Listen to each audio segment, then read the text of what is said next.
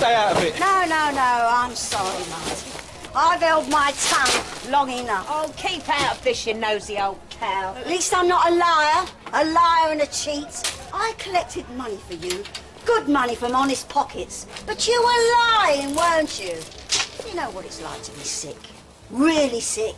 How terrifying it is. I sat in your kitchen and I poured my heart out to you about the worst thing that ever happened to me. And you just let me. What sort of person does something like that? And what sort of a person banned someone with HIV from their pub? I made a mistake. I was ignorant. And Mark forgave me. Yes, well, I didn't. Nah, you don't forgive anything, do you? But at least I stand by my kids no matter what. And look what you produced. Two thugs and a slapper. You even drove your husband to drink. And what did you drive your husband to, eh? If I could see you now, you'd be turning in his grave.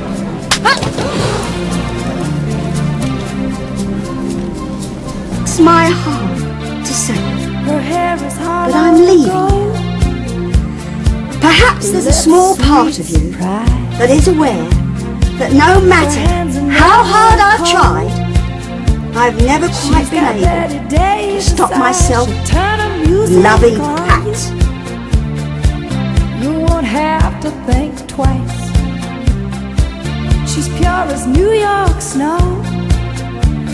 She got Bette Davis eyes. And she'll tease you, she'll unease you.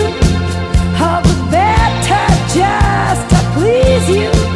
She's precocious, and she knows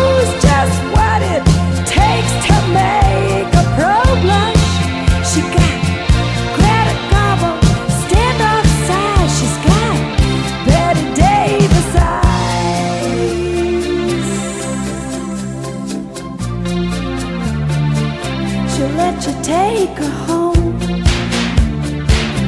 What's her appetite? She'll lay you on the throne.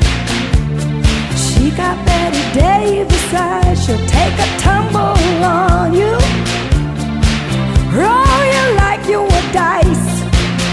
So I found a reading in here. come out blue. Just seems to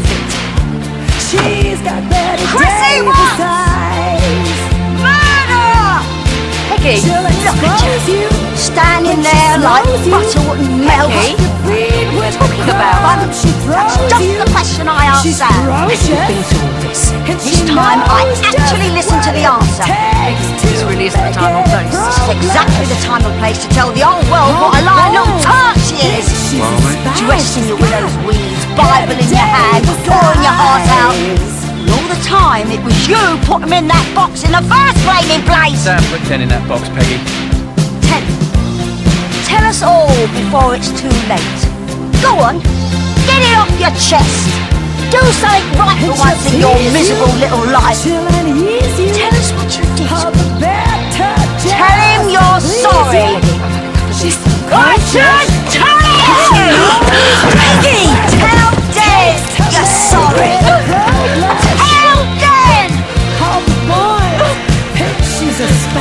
Just mind your own business, Pat. Bette Davis eyes. Now that, madam, is a reminder. Pause off Ryan. He's family now.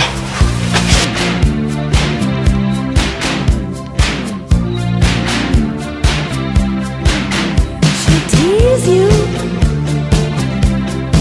She'll unease you. Sorry for him, but you're willing to ruin his life. Just He's brought it on himself, Paulie.